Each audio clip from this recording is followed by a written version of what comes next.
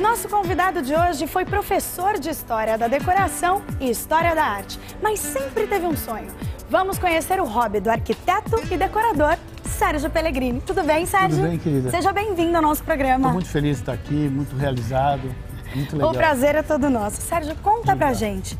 Um arquiteto que sempre sonhou, sonhou com o quê? Bom, eu sou um sonhador, né? Isso não é uma, um privilégio meu, mas eu sou um sonhador. Na verdade, eu sempre fui um leitor contumaz, eu sempre gostei de, de, de histórias, de causos e tudo mais, gostava muito de ler. E de repente isso começou a florar. É um processo complicado, não é muito fácil, porque a gente tem que romper a primeira barreira, né? Uhum. Eu digo até no prefácio do meu livro que para nascer um escritor tem que morrer um covarde, porque senão a gente não matar esse covarde, o meu eu tive que matar a paulada e pedrada para conseguir começar a fazer. Mas aí saiu e ele foi, e, e, escrever é um processo maravilhoso, super agradável, é uma realização a cada momento, a Nossa, cada página, imagina. a cada conto. E por né? que um livro de contos?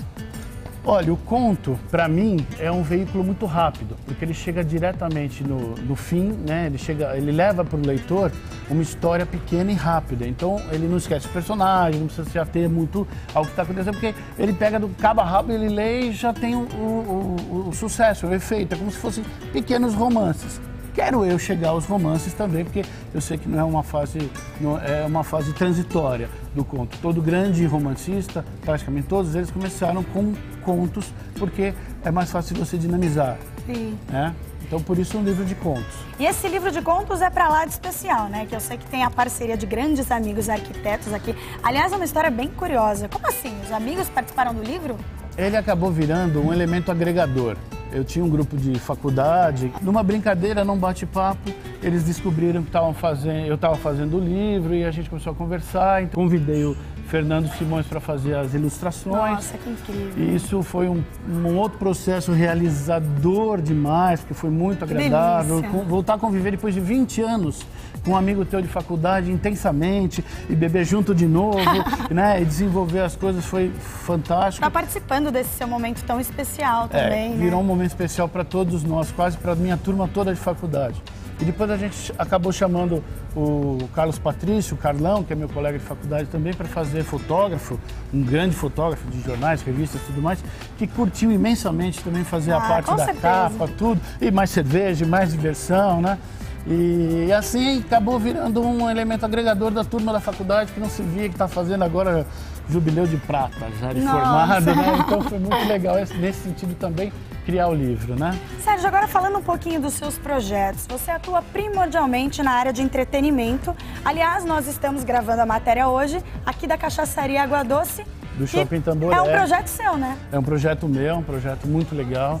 Uma parceria super agradável com os proprietários, que deram, assim, uma condição fantástica de realização.